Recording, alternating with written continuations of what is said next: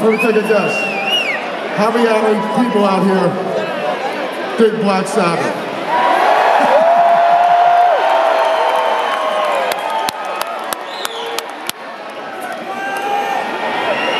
Well, that's good, because so do we.